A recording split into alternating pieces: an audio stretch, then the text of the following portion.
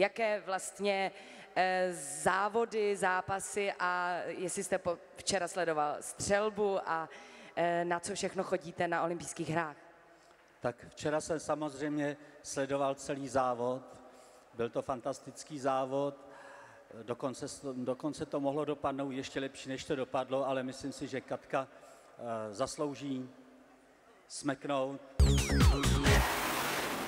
Kristýna Pálešová a Martin Konečný.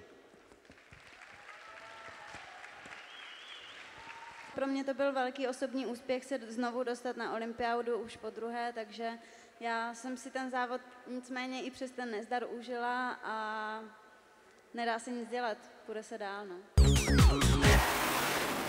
Vy jste pokoukával nejenom po finále eh, ve víceboje, ale právě i po finále na tomhle jednotlivém nářadí. Jak moc to bolí? Tak uh, už je to den, takže už je to takový jako lepší. Samozřejmě včera mě to mrzelo, nejenom kvůli tomu víceboji, ale když jsme dneska přepočítali tak nějak postupovou známku vlastně přímo na hrazdě, tak uh, nebej toho pádu, tak uh, jsem v tom finále byl a tam už se může stát cokoliv, takže v tomhle směru to mrzí, ale nedá se nic dělat. No. Petr Beneš samozřejmě před olympijskými hrami, těsně před hrami zápasil nejenom s problémy s kolenem, ale hlavně s nějakou virózou. No tak projevilo se to stoprocentně, protože Petr ještě je, bere antibiotika, takže ta fyzická kondice samozřejmě ubývala a trošičku se to projevilo v tom druhém setě v té koncovce. A přemysle, jak to, že vy máte problémy s hlasivkama? To, to je jako, že na sebe tak voláte, když hrajete? Já si na toho svého parťáka moc křičím a potom už mi nezbývá hlas do mikrofonu.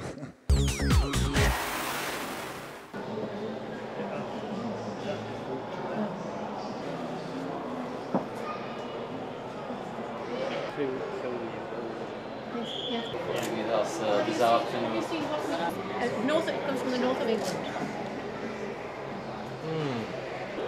If you want to see what's in it, But you have to restore it also in the Czech Republic, you know. well, we keep Not talking. big. They, I think, look, this is Sloboda. Teprve teď se dostává do České republiky, byť se vyrábí v Prostějově. Tak to je super. Ona se neprodávala, jo?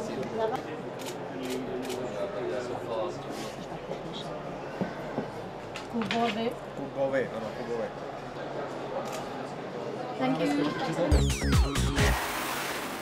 Co říkáš tomuhle konceptu Český olympijský dům nejenom pro sportovce, pro partnery, pro novináře, ale i poprvé v historii pro české fanoušky? Musím říct, že to je vynikající. je tady spousta prostoru. Myslím si, že i pro ty sportovce, kteří přijdou po tom výkonu, se můžou v klidu odreagovat. Viděl jsi, jak Češi nastupovali eh, s holinkami na nohou, protože to bylo strašně kvitováno, že vlastně Češi dokázali porazit domácí Brity v jejich vlastní disciplíně, v humoru.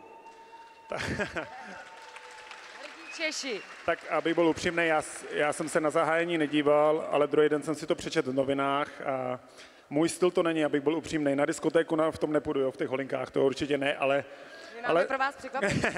ale zase chápu, že jsme malý stát a nějakým způsobem na sebe musíme upozornit a ten humor k nám patří, takže myslím, že to bylo povedený. Důležitý je, aby, aby Františka z Blesku to ocenila jako modní policie. To je důležitý.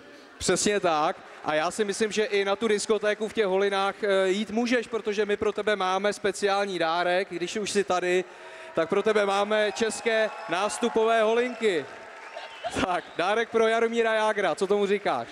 No, mám obrovský štěstí, že to je, že to je číslo 8, takže se do toho nemusím dostat, takže to je dobrý. Mamince půjdou, mamince půjdou. Tak eh, určitě to udáš v rodině. Přátelé, Jaromír Jágr. Jaromír Jágr!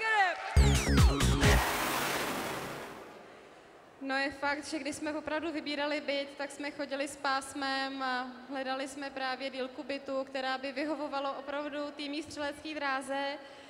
A nebojím se, máme to všechno pojištěný, už jsem se přeci jenom natrénovala na našem tátovi, když jsem střílela doma, takže manžel už se nemusí bát.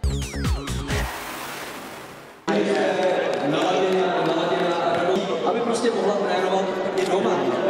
Nebojte se, že třeba...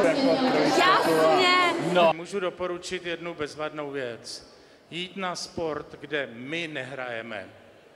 Takže my jsme se šli podívat na USA a Francie v basketbalu a to nemáte vůbec žádný nervy, to je naprosto bezvadný. To se neutrálně díváte a říkáte si, to bylo hezký, co udělali. Člověk přitom neomdlívá, nebuší mu srdce, takže to je docela dobrá rada. Tak já se eh, těším na basket našich holek s, s Tureckem, takže tam se těším moc, protože týmový sport je asi něco jiného než individuální sport. A dneska na tenise jsem se potkala s Petrem Čechem po dlouhé době, takže sportovce tady na olympiádě eh, celkem není problém potkat. Jak to vypadá s Vavřincem Hradílkem teďka, deblkanoistika? Já ho nechám odpočívat, protože zítra bude muset táhnout naší loď společnou až do cíle a já budu vzadu jenom kormidlovat. My moc gratulujeme a přejeme hodně štěstí. Standa Ježek, ještě ho tady určitě přivítáme.